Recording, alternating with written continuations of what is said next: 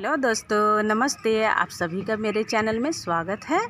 तो देखिए, आम का पेड़ आप सभी देख रहे हैं ना? इस बार हमारे पेड़ों में आम आए हुए हैं। देखिए, कितना प्यारा प्यारा आम है।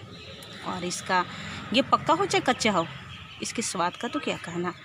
तो इस आम को तोड़ेंगे और इसका बहुत ही अच्छा रेसिपी बनाकर दिखाएँगे। और भी आम है। देखिए आम इतने बड़े बड़े हुए हैं। तो आम को तोड़ लेते हैं। और इसमें रख लेते हैं।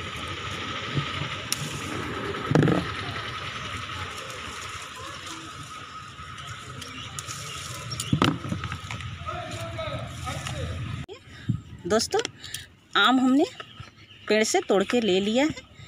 तो चलिए अब इसका रेसिपी बनाने। तो अपने पेड़ से जो आम तोड़ के लाए थे, वही आम है।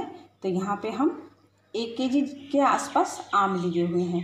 तो इसे अच्छी तरह से धोकर और छील लिए और छीलने के बाद इसे इस तरह लंबे पीसेस में काट लिए हैं। एक आम में छः सात पीस किए हैं। इस तरह पतला पतला लंबा लंबा पीस काटे हुए हैं।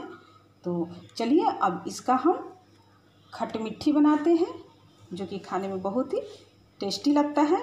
आप आम का खट मीठी बनाए तो आप एक के जी आम लिए हैं तो आपको चीनी भी उसके बराबर ही रखना पड़ेगा एक के जी आपको आम से थोड़ा ज़्यादा ही चीनी लीजिएगा तो अच्छा है। तो यहाँ पे हम एक के जी से थोड़ा ज़्यादा चीनी ले लिए हैं। आम में हम जो तड़का लगाएँगे, वो पचफोरन लिए हैं यहाँ पे। छोटे चम्मच से आधा चम्मच से भी कम यहाँ मेथी दाना लिए हैं और छोटी चम्मच से आधा चम्मच सौंफ है, छोटे चम्मच से आधा चम्मच मंगरेल है और छोटे चम्मच से एक चम्मच अजवाइन है और एक तेजपत्ता लिए हैं और यहाँ पे लाल सूखी मिर्च तीन लिए हुए हैं।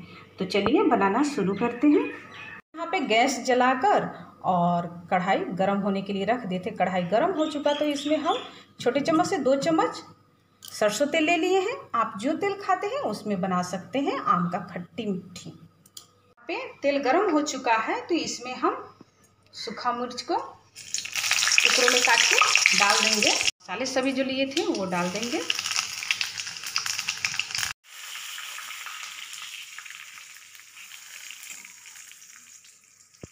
फ़ौरन हमारा यहाँ पे सुनहरा भुन जाएगा तो इसमें हम आम को डालकर भूनेंगे। भुन गया है तो इसमें हम आम के पीसेस को डाल देंगे।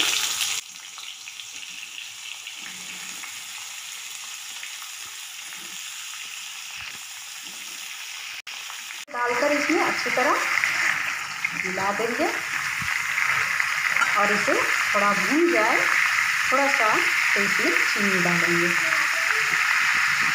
आम को चलाते हुए थोड़ा भून लिए हैं तो अब इसमें हम चीनी को डाल देंगे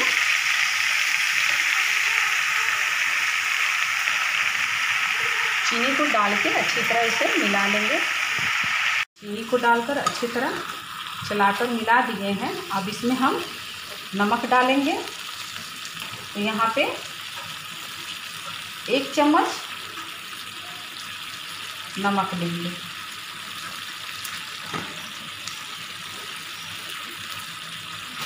और छोटे चम्मच से आधा चम्मच सूखे लाल मिर्च का पाउडर डालेंगे।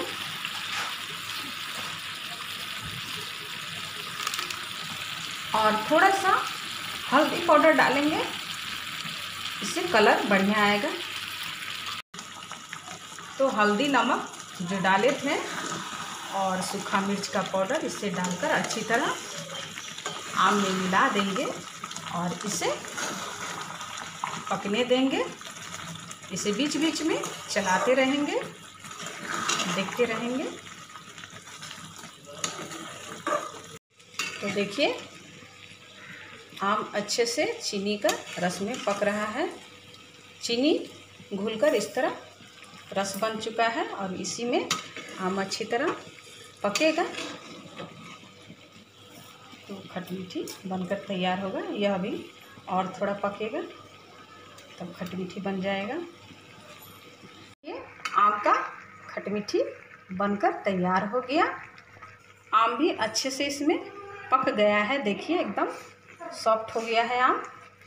और खटमिठी के जो रस होता है, उसे इस तरह हम चेक करेंगे। इस तरह थोड़ा हाथ में अच्छी तरह चिपचिप ये करने लगे तो समझिए खटमिठी बनकर तैयार हो गया। तो अब हम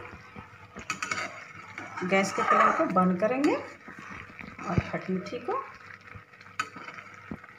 सर्व करेंगे। देखिए, आम का खट्टा मीठा सा खटमीठी बनकर तैयार हो गया।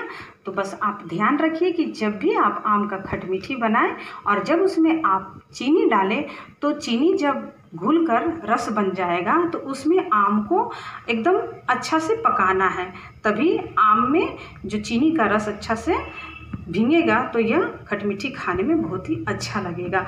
और आम को जब बनाए खटमीठी तो उसे बीच बीच में अच्छा से चलाते रहे, ताकि कढ़ाई के तले में ये जले ना, नहीं तो जल जाने पर इसका स्वाद खराब हो जाएगा। तो आप लोग भी इस तरह आम का खटमीठी बनाकर ज़रूर खाइएगा। आप इसे पराठे, पूड़ी, किसी भी चीज़ के साथ खाइए, बहुत ही अच्छा लगेगा खाने में। तो इस तरह का खटमीठी बनाकर आप लोग भी ज़रूर खाइएगा। और रेसिपी आप सभी को कैसा लगा खटमीठी का तो कमेंट कर कर ज़रूर बताइएगा। और वीडियो अच्छा लगे तो लाइक कीजिएगा, शेयर कीजिएगा और सब्सक्राइब कीजिएगा। वीडियो देखने के लिए बहुत बहुत धन्यवाद।